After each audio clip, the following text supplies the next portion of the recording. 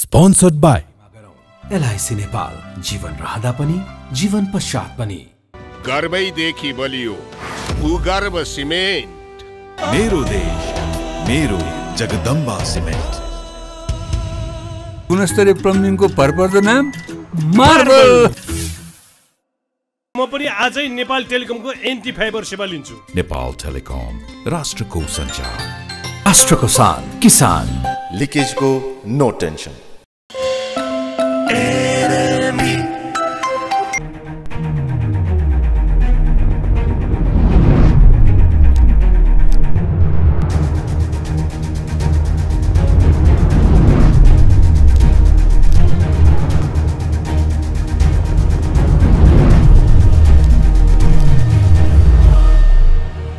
नमस्कार आदरणीय दर्शक आजको जनता जान्न चाहन्छन् कार्यक्रममा हामी प्रधान न्यायाधीश चोलेन्द्र शमशेर जवारा विरुद्ध महाभिको प्रस्ताव।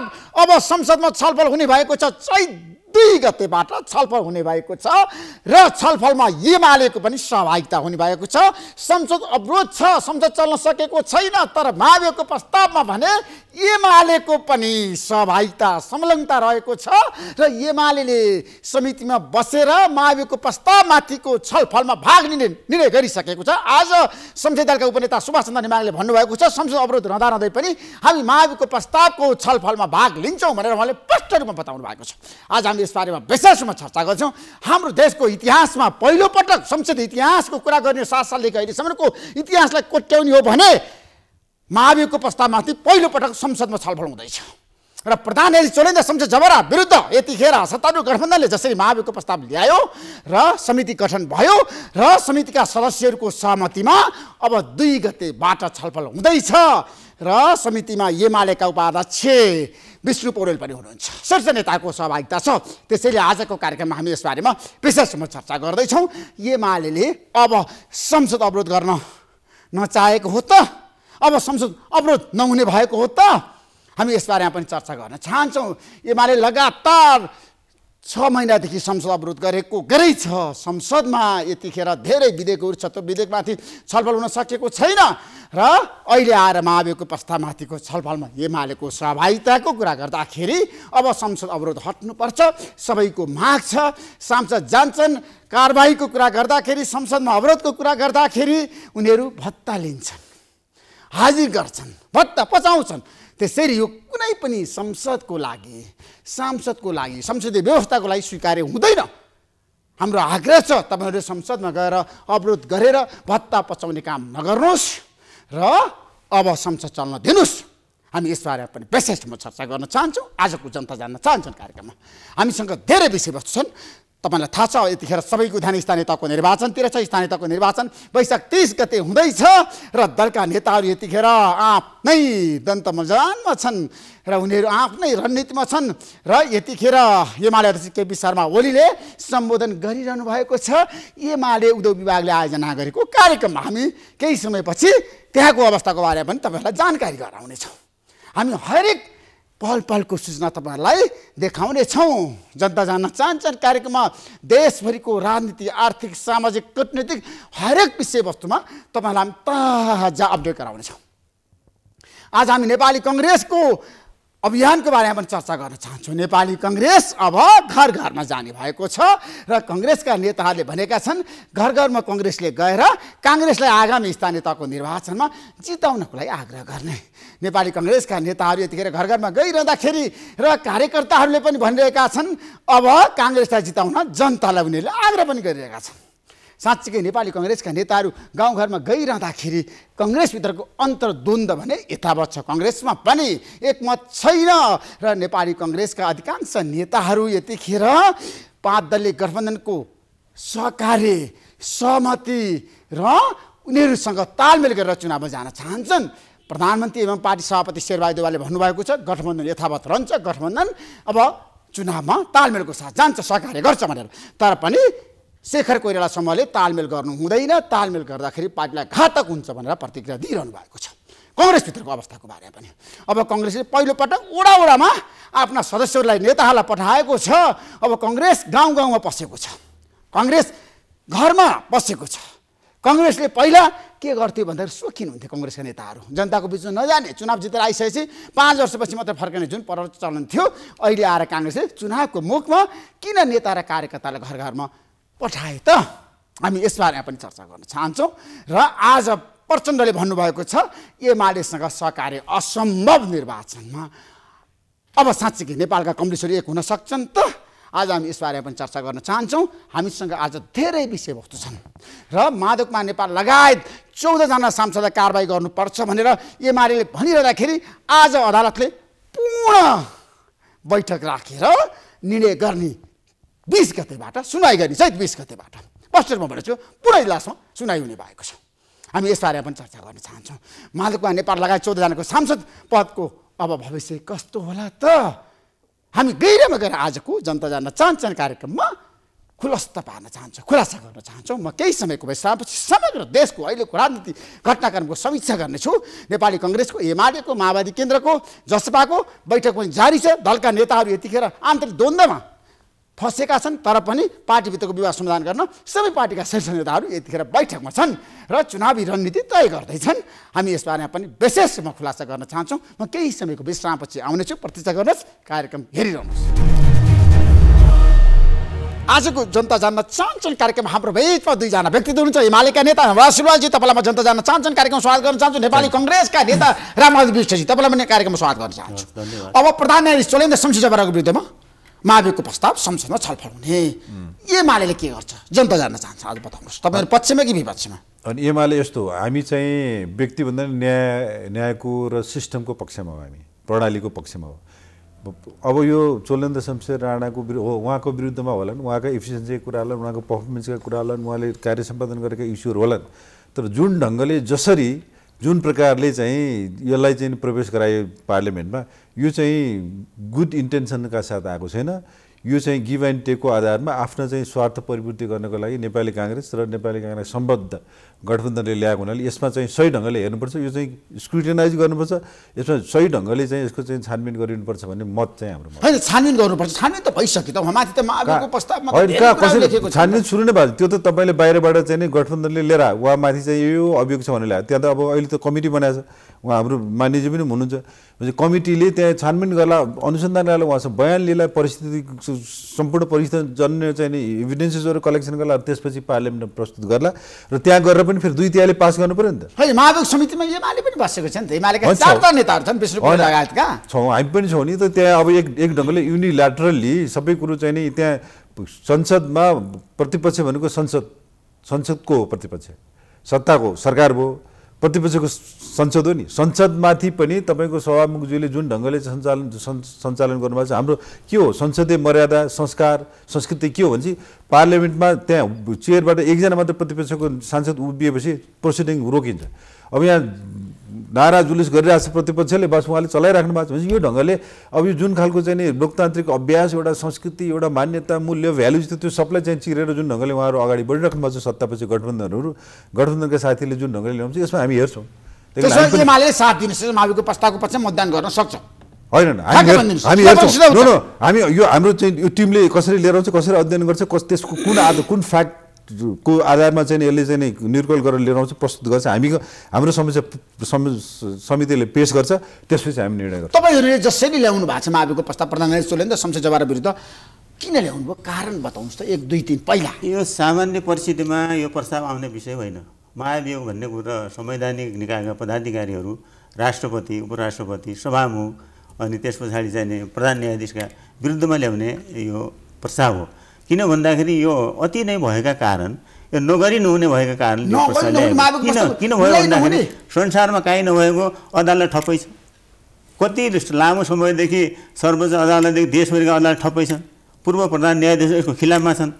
प्रधान प्रधान न्यायाधीश चोलेन्द्र शमशेर जवराले नेतृत्व गर्न सक्नु भएन असफल नेतृत्व भयो उहाँको। उहाँले मार्ग प्रशस्त गर्नु पऱ्यो राजीनामा दिनु पऱ्यो भनेर प्रधान पूर्व प्रधान न्यायाधीशहरू न्यायाधीशहरू अनि बार एसोसिएसनका कानुनविदहरू अनि देशभरि नै उहाँका विरुद्धमा यसरी आवाज उठ्दै गर्दाखेरि उहाँले बुझ्नुपर्ने कुरा होइन। उहाँ म कुनै राजीनामा किन दिने? केही कारणले त यो समिति बनिएको छ त। समितिले समिति बनेर के समितिमा। तपाईँहरूले जसरी छलफल गरिरहनु भएको छ नि त। तपाईँ त समितिको सदस्य हो नि। अब तपाईँहरू कसरी अगाडि बढ्नुहुन्छ बताउनुहोस्। एक दुई उहाँमाथि लागेका मुद्दा एक्काइसवटा मुद्दा आज पनि हाम्रो के भन्छ देव गुरुङ नेकपा माओवादी केन्द्रका प्रमुख सचेतकले पेस गर्नुभयो।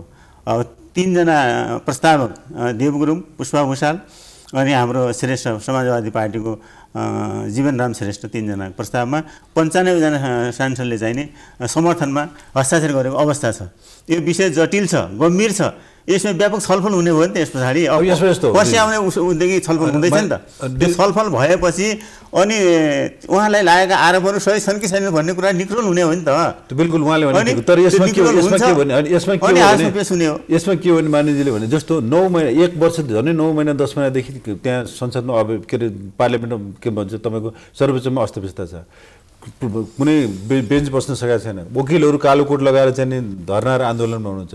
तमाम यत्र चाहिँ नि इस्युहरूमा कानमा तेल हालेर चाहिँ नि तपाईँको गठबन्धन सरकार शेरबहादुर देवबाजीको सरकार चाहिँ कानमा तेल हालेर बस्छ त्यत्र त्राई माग हुँदाखेरि एकदम चुप लागेर बस्यो जब चाहिँ त्यो चाहिँ अब माधव नेपाल पक्षका चाहिँ नि चौधजना सांसदको विरुद्धमा चाहिँ अब चाहिँ पेसी चढ्न लाग्यो भने जहाँ बाहिर मेसेज न्युज आएपछि बस ल अब खतम पार्न रोक भने त्यसरी चाहिँ एउटा अथवा त्यो चाहिँ यो वा त्यो व्यक्तिलाई चाहिँ नि फाइदा अथवा संस्थालाई पार्टीलाई फाइदा हुने ढङ्गले त्यसरी न्यायमाथि अवरोध गर्ने ढङ्गले जसरी चाहिँ यो कङ्ग्रेसले जसरी मागेको प्रस्ताव ल्यायो त्यसमा तपाईँहरूको असहमति छ। बिल्कुल असहमति छ। अनि किन ल्याउनु भएको तपाईँले प्रतिपक्षी दलको असहमति छ होइन उहाँको पनि सहभागिता छ नि त। उहाँको सहभागिता छ। एउटा विचित्र कुरा के छ भन्दाखेरि अदालतमा केस छ। अदालतले समयमा टुङ्गो लगाइदिया फैसला गरिदिएको छैन। त्यसका विरुद्धमा सदनमा नाराबाजी भइराखेको छ। नाराबाजीको एउटा सीमा हुन्छ नि। संसारमा हेर्नुहोस् यति लामो समयसम्म सदन अवरुद्ध गरेर नाराबाजी भयो कहीँ पनि हामीले देखाएको छैन है। नाराबाजी रोडमा पनि हुन्छ नि त रोडको र सदनको फरक हो नि? चौधजनालाई कारवाही गर्नु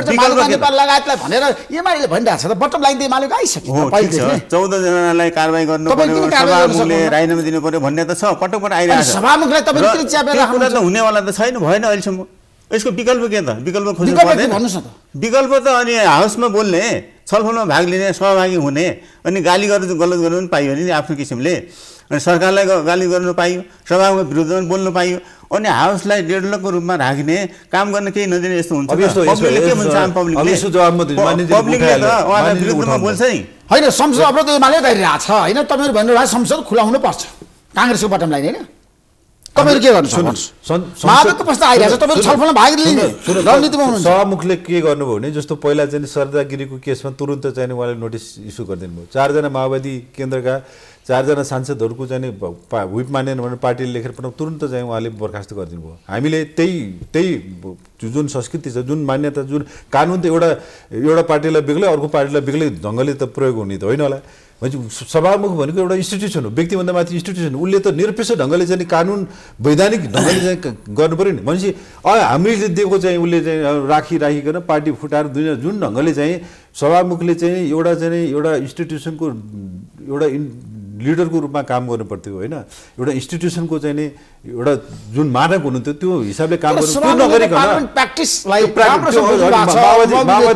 चाहिँ नि माओवादी केन्द्रको आदेश मान्ने ढङ्गले चाहिँ जसरी उहाँले गर्नु अनि हाम्रो माग के हो भने हाम्रो जनताको माग। जन अहिले पार्लियामेन्टमा सबैभन्दा ठुलो पार्टी नेकपा एमाले हो कि पार्लियामेन्टमा सबभन्दा ठुलो जनादेश प्राप्त सबभन्दा ठुलो पार्टी त नेकपा एमाले हो नि? भनेपछि ए हामीले ए के गरेका छौँ हामीले के हुइप जा हाम्रो हुइपलाई चाहिँ उल्लङ्घन गर्ने फलानाहरूलाई चाहिँ कारवाही नगरेपछि अब हाम्रो? माग के भने सभामुखले कारवाही गर्ने अधिकार त पाउनु भएको छैन नि त। किन? तेह्र दिनसम्म त उहाँलाई अधिकार दिएको छ नि त संसदीय नियमावलीले। अरू पार्टीको? चाहिँ तुरन्त नोटिसमा नोटिस जारी गर्ने यताको निर्वाचन यताको छैन? यताको चाहिँ पार्टी पार्टी लागि त मान्यता दिइसक्यो। नेकपा एमालेलाई फुटाउनको लागि सभामुखले त्यसरी टाइम बाई गर्नुभयो कि? त्यसले त्यो ढङ्गले काम गरेर भने हाम्रो माग अहिले के छ भने तपाईँले कि त्यसलाई ब्याकट्र्याक गर्नुहोस् कि त्यसलाई चाहिँ सरी भन्नुहोस् कि राजीनामा दिनुहोस् कि कारवाही गर्नुहोस् भन्ने हो हाम्रो माग। अब त्यो नगरिसकेपछि त अनि आन्दोलन त कन्टिन्यू हुने अब तपाईँले मावेको प्रस्ताव ल्याइसकेपछि पारित हुने आधार पनि दिनुपर्छ आज बताउनु सब कसरी पारित हुँदैछ? यसो। नेकपा एमाले संसदमा सबभन्दा ठुलो पार्टी हामीलाई थाहा छ। अहिले प्रतिपक्षमा छ होइन? र निरन्तर रूपमा नाराबाजी भइराखेको छ जुन निकासको बाटो केही पनि होइन। किन निकास होइन भन्दाखेरि अब ती चौधजना चौधजना मान्यता पाएर पार्टी गठन गरिसके। त्यो त एउटा नाराबाजी भइरहेछ? तपाईँले एमसिसी पनि पास गर्नुभएको आफ्नो विधेयक पास न। गर्नुभएको छ मलाई पनि बोल्न अब आज- दिनुहोस् न तपाईँ। अब आज पनि गर्नु गरिराख्नु भएको छ होइन, मलाई बोल्नु दिनुहोस् तपाईँ बोल्नु। होला। किन भन्दाखेरि अब त्यो त भइसक्यो नि। अदालतको एकातिर फैसला हुनु बाँकी छ। चौधजना खारिज हुने के इजलासमा छलफल हुँदैछ। त्योभन्दा अगाडि त हाउस चलाउनु पर्यो नि त। हाउस पनि नचलाउने नारा लगाइराख्ने विकल्पको हुँदैन। कुनै पनि कुराको विकल्प पनि हुन्छ। हाउस चलिरहेको छ? जस्तै एमसिसीमा एमसीको बारेमा उहाँले त यसको विरुद्धमा नारा लगाएको त होइन नि। सभामुखको विरुद्धमा चौधजना सांसदको बर्खास्त हुनुपर्छ भने विरुद्धमा नारा त्यति मात्रै छ। र एमाले भाग पनि लिइराखेको छ नि त। जस्तै हाम्रो अनि नेता भीमरावले भाग लिनु भएन बोल्नु भएन एमसिसीको बारेमा? अनि त्यसमा पनि दोहोरो भूमिका उहाँ पनि ठुलै नेता हो भीम रावल पनि। उहाँले भाग लिने अरूले नलिने। अब त्यो के? एउटा काङ्ग्रेसले आजको। दिनमा छ नि अदालतमाथि किन आक्रमण गरिरहेछ का? अदालतमा मैले त भनिहालेँ किन कमजोर बनाउन चाह्यो?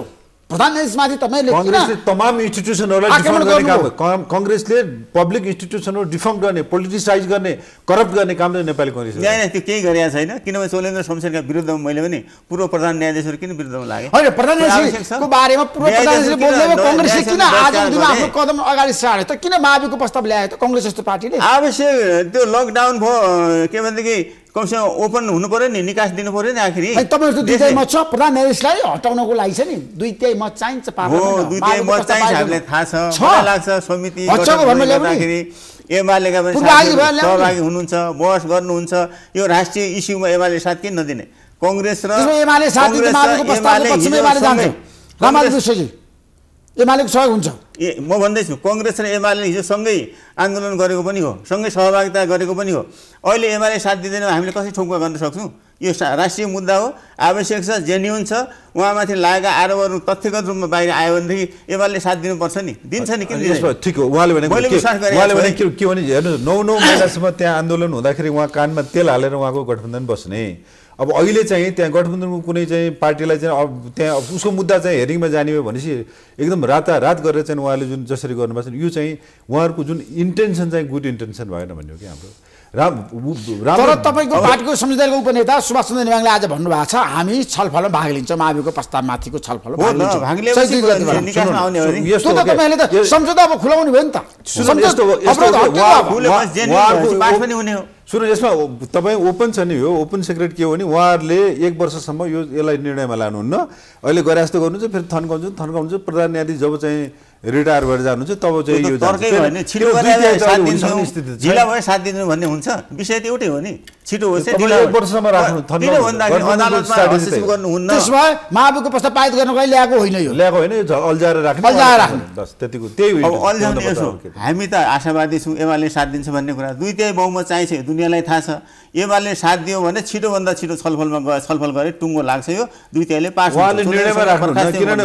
सभामुखले चाहिँ अब सभामुखले जुन ढङ्गले काम गरिराख्नु छ उहाँ पार्टीको आदेश मानिराख्नु भएको छ। भनेपछि यो चाहिँ गठबन्धनको के हो स्ट्राटेजी भने सभामुखलाई प्रयोग गर्ने र यसलाई लम्ब्याएर लम्ब्याएर लम्ब्याएर लगेर अनि चोलेन्द्र शमशेरलाई रिटायर गर्ने त्यो त्यो अब लम्ब्याउनु पर्ने कारण के छ त? त्यसमा त सबै छ नि हेर्दै एमालेका जानु होला साथीहरू अब यो हुनुहुन्छ हामी त्यही- पनि त्यही छौँ। हो तपाईँको छिटो strategy। भन्दा छिटो आज गएर छलफल शेरबहादुर गर्नलाई भइहाल्यो देउवालाई नि। प्रधानमन्त्री बनाउने मान्छे हो नि चोलेन्द्र शमशेर जवाहर त। परमादेश कसले जारी गरेको? सर्वोच्च अदालतको प्रधान न्यायाधीश होइन।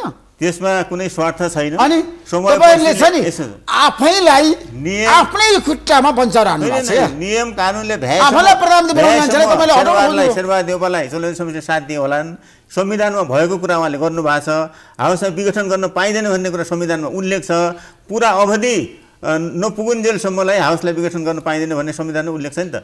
पटक पटक अब केपी शर्मा ओलीले हाउस विघटन गर्नुभयो अनि उहाँले बहाली गरिदिनु। त्यो त संविधानमा भएका कुरा चौधरी समितिले गर्नुभयो त। शेरबहादुरलाई गुण लगाउन जस लगाउनले गरे होइन नि आखिरी। तर नि प्रधानमन्त्री त। बनाएर चोलेन्द्र शमशेर जवाहरलाई उहाँको नि हात छ नि प्रधान परमादेश भन्ने चिज चाहिँ यो कुनै संविधानमा त्यो पनि नभएको शब्द परमादेश लेख्नु हो। एउटा कुरा भयो। व्यक्तिलाई तोकेर फलाललाई बनाऊ भनेर जुन ढङ्गले गराएको छ नि। यो अनि त अप्राकृतिक ढङ्गले गराएको छ नि अब सर्वोच्चबाट आयो हामीले मान्यौँ तर त्यसमा हाम्रो असहमति त छँदैछ नि पुनः पुनः पुनः फेरि गल्ती काहीँ भइहाल्छ कि भनेर उनले सचेत सजिलो बाटो अप्नाइदिएको नभए त सांसद नै बहुमत सांसद गएर अदालतमा हस्ताक्षर गरे हामीले थाहा छ नि त त्यो शेरबालाई प्रधानमन्त्री बनाउनलाई भने गरे हो नि त त्यो त्यो स्वाभाविक कुरा त्यसमा नवाजीले भन्नुभयो जस्तो गरी अब तपाईँहरू नि कहिलेसम्म यो विषयमा छ नि महाभियोगको विषयमा चाहिँ टुङ्गोमा पुग्नुहुन्छ? अब दुई गते प्रतिनिधि सभा बैठक बस्छ। दुई गतेबाट छलफल सुरु हुन्छ भनेर आजै अब सभामुखले भनिसक्नु भएको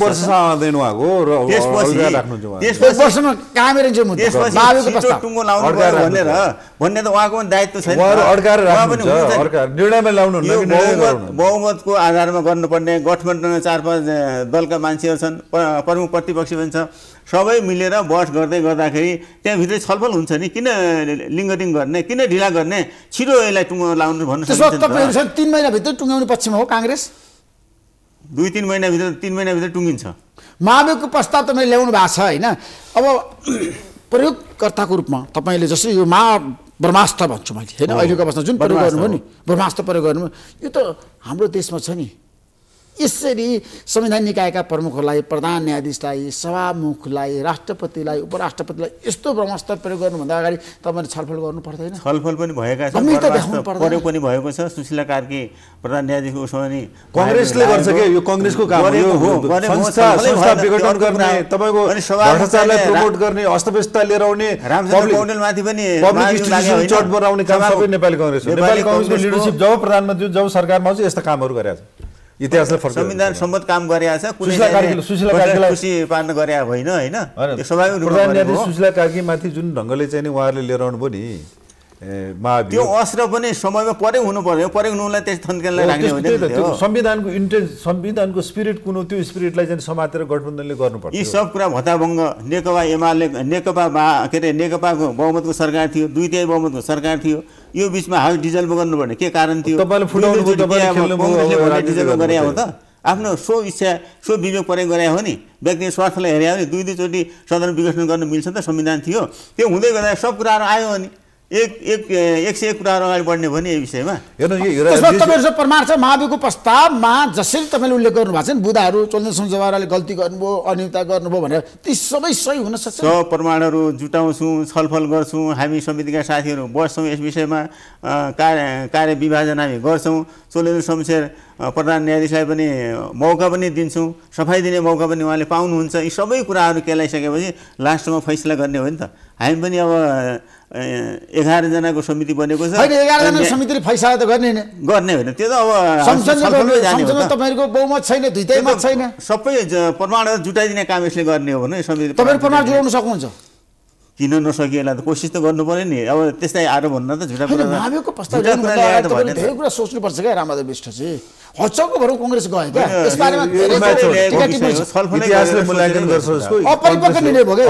बिल्कुल। अपरिपक्व त एकजनाले। गरेको निर्णय हुन्छ। यहाँ त गठबन्धनका सबै छन् एमाले पनि छ। सबै सहभागी छन् नि यसमा?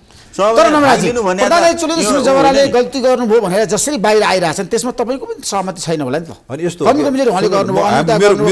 मेरो गठबन्धनलाई उहाँ लगायतको गठबन्धनलाई मेरो प्रश्न यो हो कि नौ नौ महिनासँग अस्तव्यस्त हुँदाखेरि कानमा तेल हालेर बस्ने अनि कुन प्रयोजनको लागि कुन उद्देश्यले कुन मिसनमा कोबाट डाइरेक्टर भएर कसको चाहिँ निर्देशनमा उहाँले गर्नुभयो? यही हो प्रश्न। अदालतले आफ्नो कुरा आफै निम्टारा गर्नुहोस्। प्रधान न्यायाधीश त्यहाँको नेता हो। उहाँले त्यो समस्या हल गर्नुहोस् भनेर सरकारले भन्दै गयो। किनभने तुरन्त हस्तक्षेप गर्नु भन्ने थियो।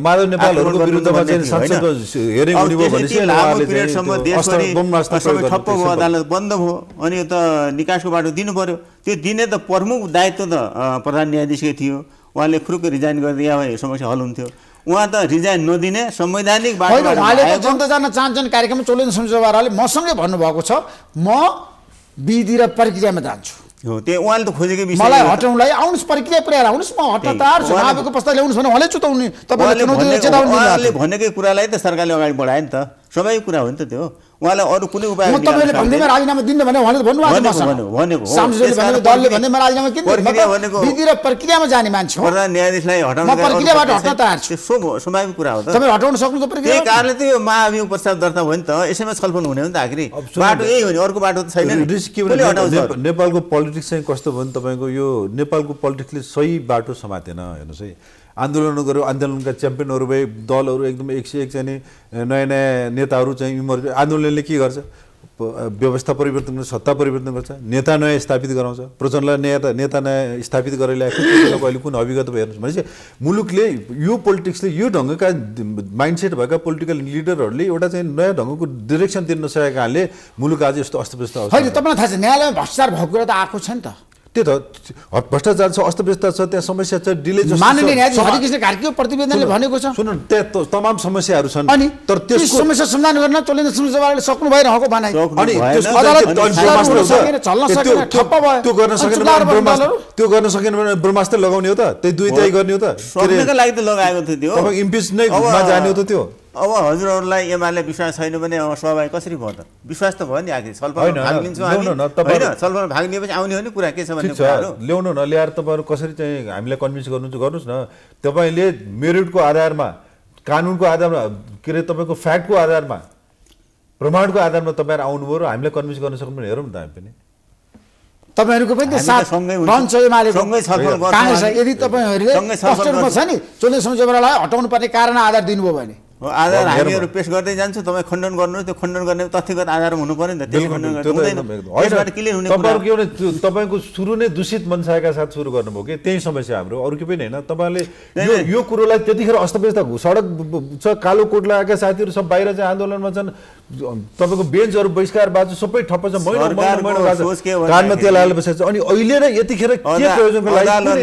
कुरा आफै। लाग्यो पहिले। आफ्नो कुरा आफै टुङ्ग्याउ त्यो स्वाभाविक कुरा हो नि। ठिकै छ, तुरुन्तै तुरुन्तै चाहिने सानो के हुने अब प्रक्रियामा जाला होइन अब। संसदमा छलफल हुँदैछ होइन त्यो हेर्न बाँकी छ एमाले साथ नदिने सम्भावना बढ्यो अब उहाँ मान्यजीले भनेअनुसार अरू हेरौँ। साथीहरू साथ लिँदैछन् छलफलमा भाग पनि लिँदैछन् किनभने तथ्यगत कुरामा जाने हो यसमा चाहिने पूर्वाग्रही ढङ्गले अनि एमालेको कुरा काङ्ग्रेसले नपचाउने काङ्ग्रेसको कुरा एमाले नपचाउने भन्ने कुरा भने राष्ट्रिय मुद्दा हो यो सही कुरा हो यसमा छलफलमा भाग लिउँ।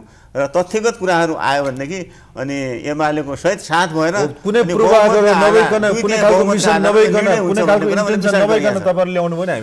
त्यसमा अब निर्वाचनमा छ नि। जस्तो एक्लै जाने कि तपाईँहरू कुनै दलसँग गठबन्धन गरेर जाने? निर्वाचनमा छ नि अब के गर्नुहुन्छ तपाईँहरू? एमाले अब आउने। सुन्नुहोस् आउने निर्वाचन भनेको चाहिँ एमाले र गठबन्धनको बिचमा भन्दा पनि यो चाहिँ के भने यथास्थितिवादी र भ्रष्टाचारलाई प्रमोट गर्ने पक्ष र परिवर्तन होइन र परिवर्तन र समृद्धिको पक्षको बिचको लडाइँ हुन्छ चुनाव हुन्छ। हामी परिवर्तन र अग्रगमन। भ्रष्टाचारलाई प्रमोट गर्ने इन्स्टिट्युसनलाई चाहिँ इन्स्टिट्युसनहरू सर्वोच्च लगायतका इन्स्टिट्युसनलाई डिफाउन्ड गरेर पोलिटिसाइज गर्ने करप्सनलाई प्रमोट गर्ने यथास्थितिमा बस्ने रमाउने सत्ताको स्वाद मात्रै चाख्ने त्यो उहाँहरूको भयो हामी चाहिँ परिवर्तन चाहन्छौँ। त्यही कारण अहिले चाहिँ गठबन्धन र एमालेको बिचमा चुनाव होइन कि यथास्थितिवादी र परिवर्तनकामी परिवर्तनवादीहरूको बिचमा चुनाव हुन्छ र जनताले त्यसको फैसला गर्छ। तर एमाले पार्टीलाई तपाईँलाई थाहा छ माधवका नेपाललाई प्रचण्डको गम्भीर आरोप छ नि त। यो देश बिगार्ने व्यथिति ल्याउने केपी शर्मा ओली नै हो। जसरी हुन्छ आउने। चुनावमा निमिट्यान्न पार्ने। उहाँहरूलाई डरै उहाँको भनाइ। सुन्नु केपी शर्मा ओली धुलो चटाउने। निर्वाचनमा। आइसक्यो माधवका नेपाल प्रचण्डको देश धुलो चटाउने कसले कसलाई चटाउँछ? भोलि जनताले निर्णय गर्छ।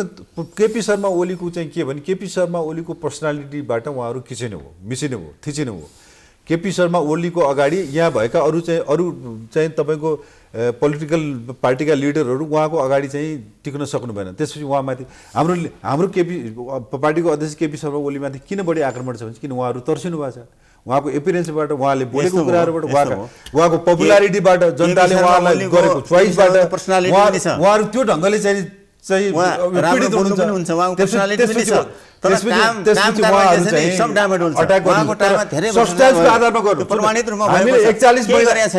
मान्यजीले बोल्नु होला। एकचालिस महिनासम्म नेपाल नेकपाको सरकारले केपी ओलीको प्रधानमन्त्रीत्व कालमा गरेको सरकारले गरेको काम इतिहासमा अहिले कुनै सरकारले गरेको छ अहिलेसम्म? अहिले आठ महिना राम्रो काम त गर्दै गरेन केपी शर्मा ओलीको सरकारले। तपाईँ बास नहुनुहोस् न फेरि। होइन म कसरी बायस भएको? तपाईँ कसरी भ्रष्टाचारको अखडा भयो त्यतिखेर। जताततै भ्रष्टाचार भयो। केपी शर्मा ओलीलाई?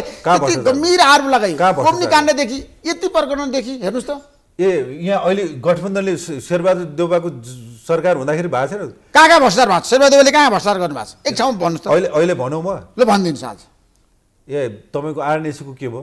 नेपाल एयरलाइन्सको चाहिँ नि जहाज किन्दाखेरि कसले कसको भन्नुहोस् न तपाईँ। कसको पालामा भएको शेरबहादुर पालामा पहिले? जाँच गर्ने अहिले?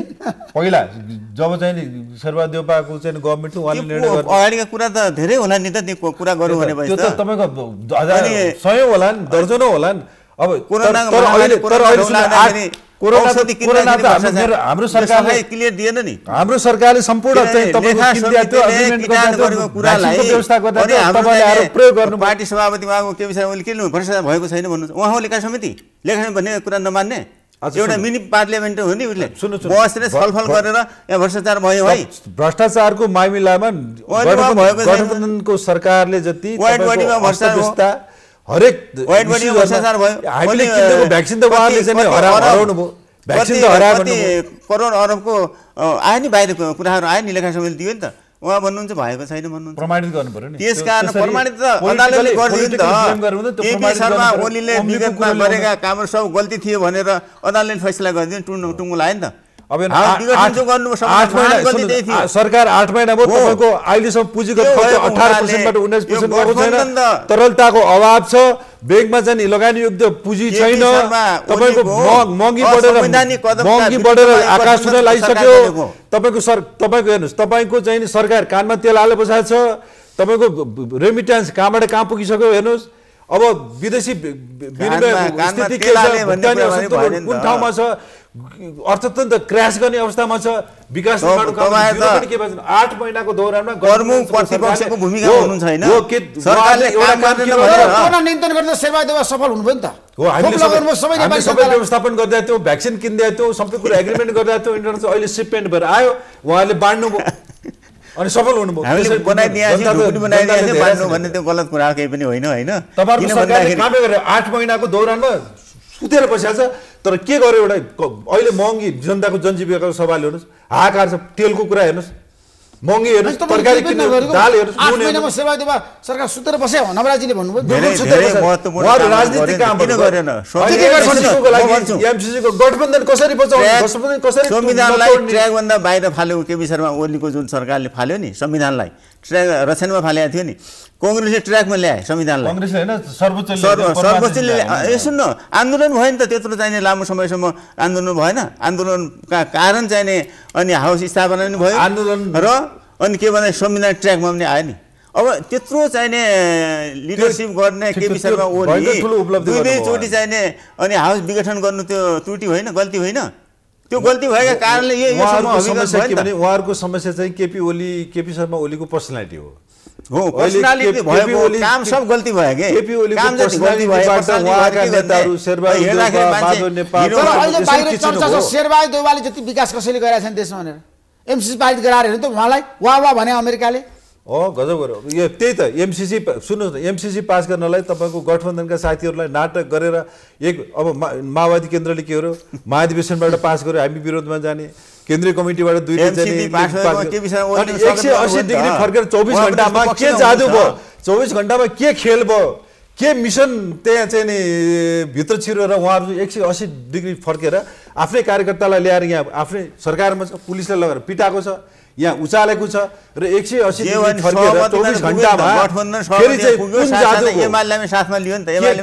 आखिरी। तत्त्वले चाहिँ काम एमसिसीको त एमाले पास थिएन। नि एमाले थिएन किन भन्दाखेरि केपी शर्मा ओलीले नै दर्ता गरे हो नि त यो एमसिसी पास गर्नुपर्छ भनेर सदनमा पेस गरेका थियो नि छलफल भयो पास पारित भयो तर कङ्ग्रेस पार्टीभित्र तपाईँलाई घाटा भयो नि त काङ्ग्रेसलाई घाटा किन अनि विकास निर्माणका काम प्रसिद्ध जनताहरू। सडकमा आए। अनि विद्युतको विकास हुन्छ सडकको विकास हुन्छ भयो त। तपाईँको चित्त बुझ्ला नि त। कसरी हुन्छ ठिक छ। भएन भनेपछि अब हाउसमा बोले हामीले अब चुनावमा कङ्ग्रेस एक्लै जान सक्दैन? गठबन्धनका साथ जान्छ?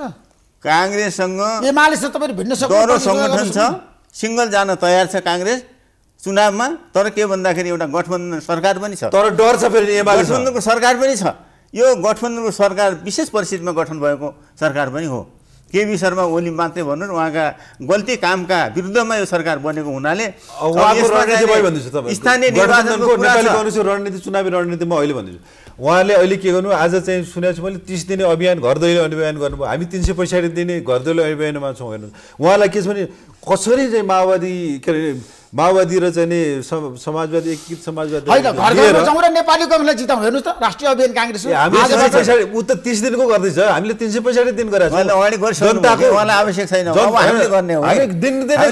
जनतासँग सबभन्दा नजिक जनताको हरेक समस्याहरूसँग जुझ्ने जनतासँग एक प्रकारले भएर नेकपा एमाले। त्यही नेकपा कसरी जताउने भन्- हराउने भन्ने रणनीतिमा उहाँलाई उहाँहरूले चिन्ता- माओवादी स्थानीय केन्द्र र निर्वाचनमा त मेरो विचार के समाजवादीलाई भन्दाखेरि लिएर उहाँहरूलाई बोकेर काँध थापेर नेकपा हराउन सकिन्छ भने नेपाली काङ्ग्रेस एउटै रणनीति बसेर। भागभण्डा गर्ने होइन गठबन्धनले स्थानीय तहमा हुनु स्थानीय बिल्कुल तयार छ। पाँच दलले गठबन्धनसँग भिड्न तयार छ प्रतिस्पर्धा गर्न तयार छ। अब तपाईँहरू प्रचण्ड र माधव नेपाललाई सँगै लिएर जाने चुनावमा ठ्याक्कै भन्नुहोस्। सरकार। छ तर। चुनावमा तपाईँले।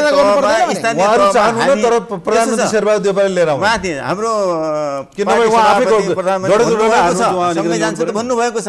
तर कि काठमाडौँमा बसेर टेबलमा किताकाट गर्ने होइन। त्यहाँ स्थानीय तहमा गएर आफ्नो कुराहरू गर्छन्। आवश्यकता ठाउँमा गठबन्धन हुन्छ आवश्यक ठाउँमा सिङ्गल पनि लडिन्छ त्यसमा कुनै यो नारा ल्याएको छ नि अहिले? घर घरमा कङ्ग्रेस। त्यो स्वाभाविक कुरा हो त। उहाँहरू त सधैँ गरिराख्ने हामी त अहिले गऱ्यौँ त। किन? पहिले त हाम्रो त तपाईँहरू घर घरमा गएर कङ्ग्रेस जिताउन किन आग्रह गरिरहनु भएको छ? कारण के? यो यस्ता यहाँ विगतका सरकारले गएका गरेका कमी कमजोरी यथास्थितिवादलाई कन्टिन्यू गरेर औल्याएर जनतालाई सम्झाउनु पर्यो। एमसिसीको विरुद्धमा सब लागेका थिए यिनीहरू सब लागेका थिए भनौँ। एमाले प्रतिपक्षदेखि सब लागेका थिए। यो सही कुरा हो। यो ज नेपाली जनताको हितमा थियो र अनि अहिले पास गर्यो गठबन्धनले भनेर त्यो कुराहरू गर्नु पर्यो। जनताका हितका कुराहरू सरकारमा भएका कुराहरू भावी रणनीति के छ सबै कुराहरू घर दैलोमा गएर बुझाउँदाखेरि पो थाहा हुने हो नि। त्यसो भए मलाई बताउनुहोस् तपाईँहरू पार्लियामेन्टमा हुनुहुन्छ। लगातार चार वर्षदेखि।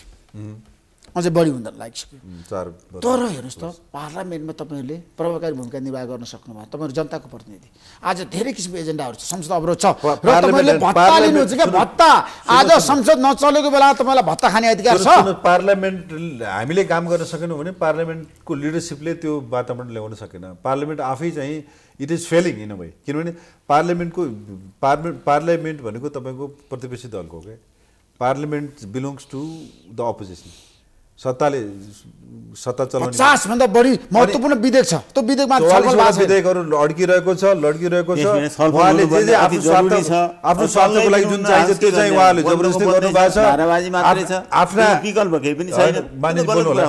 आफ्नो उहाँहरूलाई चाहिएको विधेयकहरू उहाँले पास गर्नुभएको छ चाहिएको मुद्दाहरू उहाँले गर्नुभएको छ होइन अब राष्ट्रिय महत्त्वको राष्ट्रिय। महत्त्वका राष्ट्रिय महत्त्वका विषयहरूमा छलफल गर्नुको लागि त त्यहाँ अनि प्रतिपक्षलाई प्रतिपक्षलाई त बोल्ने त त्यहाँ। ठाउँ दिनु भयो। नि। प्रतिपक्षको आन्दोलन भएपछि त्यसको माग त उहाँले सम्बोधन गरिदिनु पर्यो नि लोकतन्त्रमा। पर कि त मागै प्रशस्त गरिदिनु पर्यो सभामुखले कि चाहिँ क्षमायाचना गर्नु? मबाट गल्ती पो भन्नु? भन्नुहोस् न ल ठिक छ त्यसमा हामी कन्सिडर गर्छौँ त्यो पनि नभन्ने।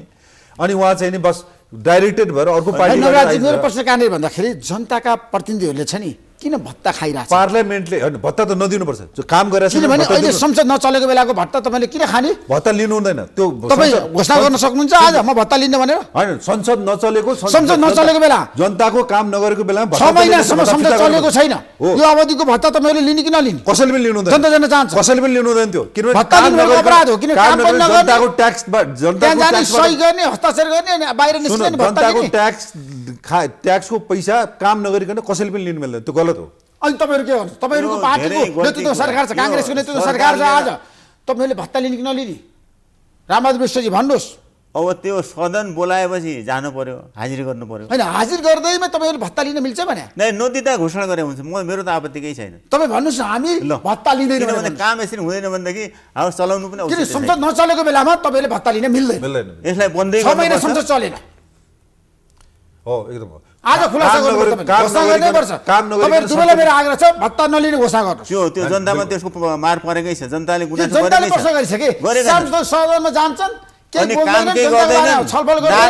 आउँछन् भत्ता लिन्छन् भन्ने पनि छ। गलत कुरा हो काम नगरिकन पैसा भत्ता लिने काम चाहिँ गलत हो त्यो त्यो नदिने निर्णय गर्दा हुन्छ। त्यो त हामी दुइटैको सहमति भयो ल सरकारले गर्नुपर्छ निर्णय। किनभने यो अवधिमा चाहिँ छ महिना काम भएको छैन? हामी खान्छौँ भन्ला नि उनीहरूले। हो तपाईँलाई भत्ता चाहिन्छ? रामद विष्ट एमसिसी पास गर्नु उहाँले त होइन होइन। हामीले त पास गऱ्यौँ र खायौँ। उहाँ नारा लागेर पनि खाने त अनि त्यो। सबैको लागि स्वाभाविक कुरा हो नि उहाँ फिर्ता गर्नुपर्छ त। छैन? उहाँले भन्नु फिर्ता गर्नुपर्छ भनेर। होइन त्यो त्यो काम नगरिकन पैसा त्यो भत्ता भत्ता लिनु हुन्न भत्ता नदिँदा हुन्छ यो सरकारले घोषणा गर्दा हुन्छ मेरो यसमा पूर्ण लिएको छ भने फिर्ता गर्नुपर्छ।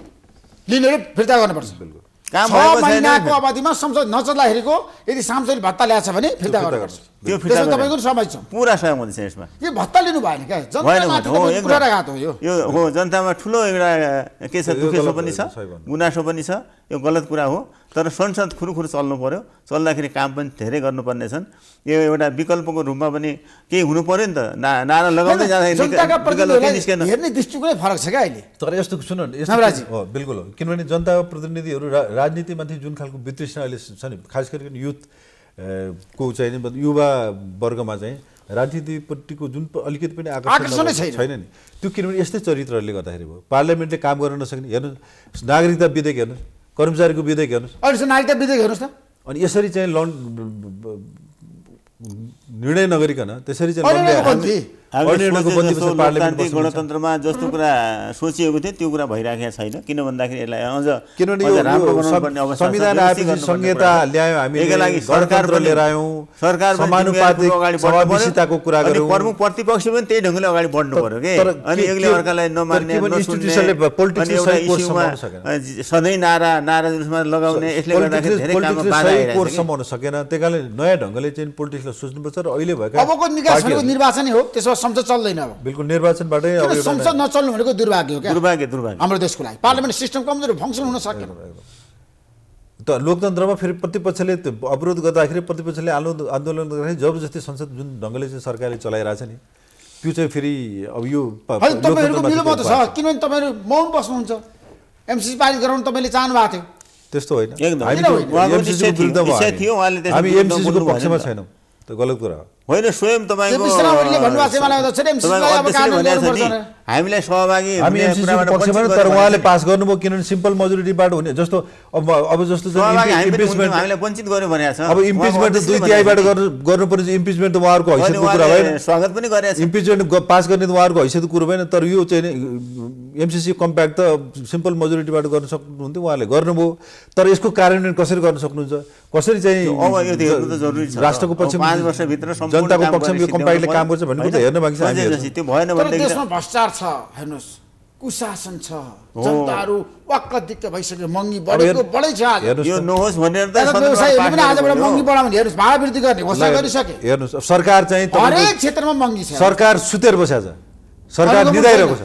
एमसिसी पास गऱ्यो भने चाहिँ एमसिसी पास गऱ्यो भने चाहिँ सांसद खोइ बोलेको होइन होइन किन। नबोलेको हो यसो यसो अब महँगी बढेको छ स्वाभाविक कुरा महँगीले आकाश छ। तेल महँगीले आकाश छोएको छ जनताको कन्ट्रोल भान्सा गर्न- बङ्गिएको छ खान नपाउने स्थिति भइसक्यो छ। सरकार चाहिँ तपाईँको आँखा बाहिरबाट चिम्लेर आउने हो नि बस्यो। तेल, बाहिरबाट सर- आउने हो। सरकार एमसिसी गर्यो भने चाहिँ खुसी भएको छ एमसिसी छ। गर्यो भने चाहिँ खुसी भएको छ र MCC जनताको कुरोमा जनताको सवालमा यो सरकार बढेको। छ निश्चित हो यो कन्ट्रोल गर्नुपर्छ नियन्त्रण गर्नुपर्छ र गर्दैन कुरा, उहाँको तेलको सरकारले कुरा त उहाँले बिचरा। उहाँको त सदिच्छा देखियो। आउने हो नि तेल त उहाँको त सदिच्छा महँगो हुँदै देखियो। आउँदाखेरि यहाँ महँगो हुँदै जाने हो त्यो त सरकारले गर्नुपर्छ नि। सरकारले त्यो। त्यसलाई ऋण दिएर अनि सस्तो मात्रै बनाएर सरकार धान्न सक्छ सक्दैन नि आर्थिक कुराको पनि कुरा समस्या सरकार। फेल भइसक्यो अब जनताले पछार्नेवाला छ चुनावमा सरकारलाई आगामी निर्वाचन कसले बाजी मार्ला स्थानीय तहमा सोध्नुपर्छ र अ, हामी नेकपा एमाले नै चाहिँ अब सोध्नु विजय- पर्छ भन्ने कुरा त राष्ट्रिय सभाको चुनाव भयो एमाले के हालत भयो किनारा लाग्यो नि काहीँ जित्यो कुनै सिट? त्यो हालत भोलि पनि आउला नि त निर्वाचनमा। त्यो प्रमाणको रूपमा छ नि। ठिकै छ। भन्नुपर्छ राष्ट्रिय सभा गर्नु दङ्ग परेर बस्नु तपाईँ अनि तल जनताले भोट हाल्दाखेरि थाहा हुन्छ के हुन्छ। जनताले जनता भोट हालेपछि सर्वोच्च चाहिँ तपाईँ थाहा नपाउने हामीमा थाहा पाउने होला सबैले थाहा पाउने भोट हालेपछि त। त्यो स्वाभाविक। रूपमा हुन्छ नि त्यो। बिल्कुल, त्यसकारण जसरी तपाईँले माओवादी- माओवादी सभाको निर्वाचन हुँदाखेरि जुन हालत एमालेको भयो नि समाजवादीलाई त्यसपछिका बोकेर- निर्वाचनमा त्यही हालत हुने हो आज? पनि बाबा त्यही आज- हालत हुने हो ए, त्यो आज पनि नेकपा एमाले नै यो यो मुलुकको जति पार्टी हो। त्यो गुणगान गाए पनि एमाले ठुलो पार्टी एमाले पपुलर एमाले नै सर्वश्रेष्ठ जति भन्नुहुन्छ त्यो केही हुनेवाला छैन। त्यो सा भोलि भोलि प्रमाणले के अरे रिजल्टले हुन्छ, बताउँछ त्यो तपाईँलाई कुरा। अब प्र- प्रचण्ड भोलि र हेरौँला नि हामी। माधव अनि एमाले सकित अवसर गुमायो किनभने सातवटै प्रदेशमा तपाईँहरूको पहुँच थियो प्रभाव थियो चारवटा प्रदेशमा तपाईँको त्यहाँ। सबै सुन, पुग्यो नि त यस- यसमा किन के हो- भनेदेखि अनि मलाई काम गर्ने। ढङ्ग भएन के समस्या चाहिँ कस्तो भयो भने तपाईँको अब राष्ट्रिय अन्तर्राष्ट्रिय फोर्सेसहरू चाहिँ नेकपालाई कसरी फुटाउन सकिन्छ भन्नेमा लागे। हेर्नुहोस् है नेकपालाई फुटाउने काम त उहाँहरूका नेताहरूले गर्नुभयो नि। जुन ढङ्गले? जुन ढङ्गले अध्यादेश ल्याएको के हो त त्यो? अध्यादेशको काम के हो त हेर्नुहोस् त। अब नेपाली कङ्ग्रेस त 40 प्रतिशत भनेको कुरोमा 20 प्रतिशत ल्याएर पार्टी फुटाएर- जानु खोजेकै थिएन नेपाली काङ्ग्रेसले। अब त्यत्रो बहुमतको सरकार नेकपाको सरकारले सरकार चलाउन नसकेर अनि सरकारलाई रोडमा छोडिदिएपछि सर- काङ्ग्रेसले सम्हाल्नु परेन? होइन लथालिङ्ग रोडमा छोडिदिने? तपाईँहरूलाई सम्हाल्नु पर्यो नि तपाईँलाई पाँच वर्ष म्यान्डेट थियो नि सर्वोच्चले। सर्वोच्चले परमादेश दियो तपाईँको नेतालाई हाम्रै शेरबहादुर। देउपालाई नै बना यति घन्टाभित्र बना स्वाभाविक कुरा हो। त्यही भएर अन्तर्राष्ट्रिय जगत पनि काङ्ग्रेसको पक्षमा तपाईँको पार्ले सरकार बनाउने अधिकार पार्लियामेन्टको सरकार बनाउने अधिकार सर्वोच्चको होइन। न्यायालय पनि काङ्ग्रेसकै पक्षमा संविधानले अन्तर्राष्ट्रिय जगत पनि काङ्ग्रेसकै पक्षमा संविधानले। कहिले पनि फलानु मान्छेलाई। चाहिँ सर्वोच्चले। फलानु मान्छेलाई के अरे प्रधानमन्त्री बनायो भनेर संसारको कुनै पनि इतिहासमा अहिलेसम्म कुनै घटना तर भएको छैन। नेपालको अदालतले भन्यो त सर्वोच्च अदालतले निर्णय गर्यो। जारी। मान्नु हो जनताबाट अनुमोदित होइन? परमादेशी सरकार भने हामीले भनेको छौँ नि उहाँ जनताले अभिमत नेकपालाई दिएको थियो जनताले अभिमत एमालेलाई दिएको थियो तर उहाँलाई प्रतिपक्षमा बस्न तपाईँलाई अधिकार थिएन। उल्लङ्घन गरेर म्यान्डेट सरकार। चलाउने।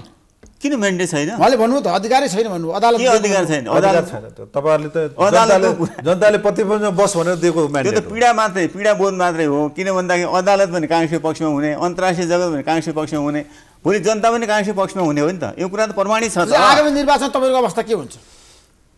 निर्वाचनमा यो पूर्ण बहुमत त कसैको पनि आउँदैन।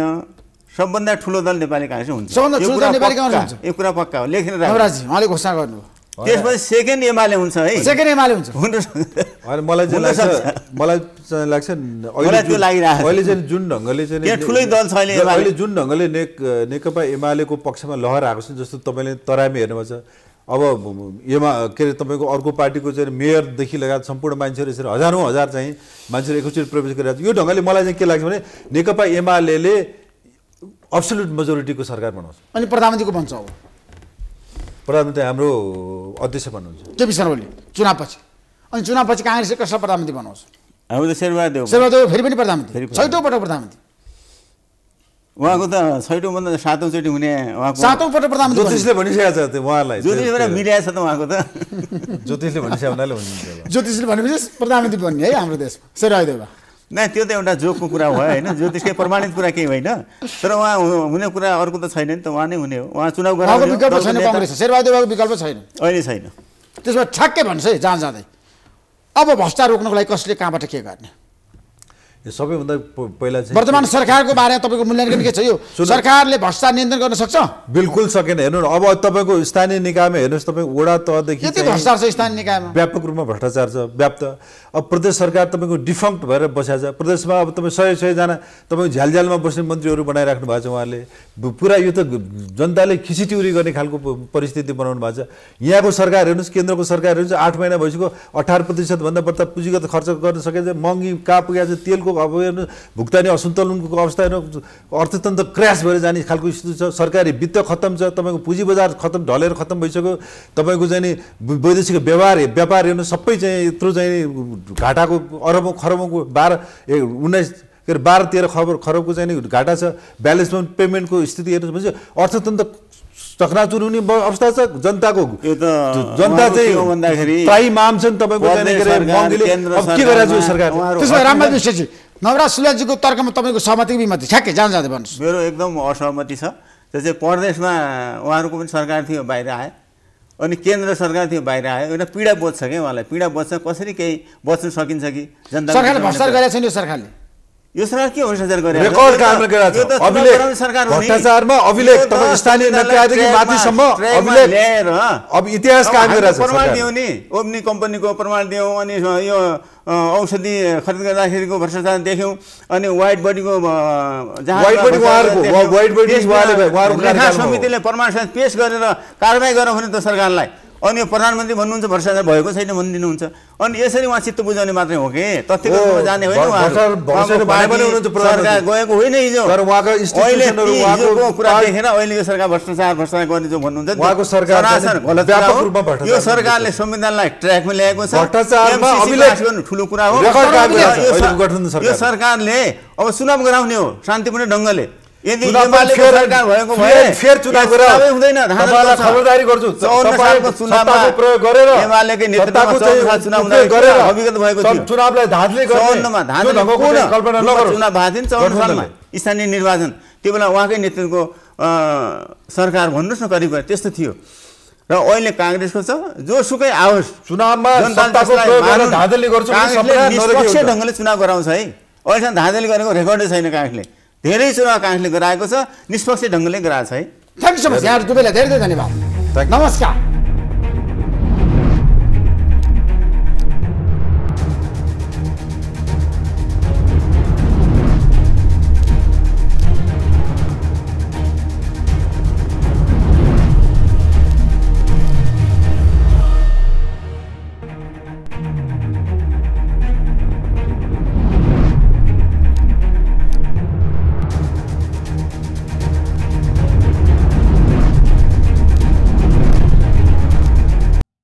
Sponsored by एलआइसी नेपाल जीवन रहँदा पनि जीवन पश्चात पनि गर्वैदेखि बलियो भूगर्भ सिमेन्ट मेरो देश मेरो जगदम्बा सिमेन्ट गुणस्तरीय प्लम्बिङको भरपर्दो नाम मार्बल म पनि आजै नेपाल टेलिकमको एन्टी फाइबर सेवा लिन्छु। नेपाल टेलिकम राष्ट्रको सञ्चार। राष्ट्रको सान किसान। लिकेजको नो टेन्सन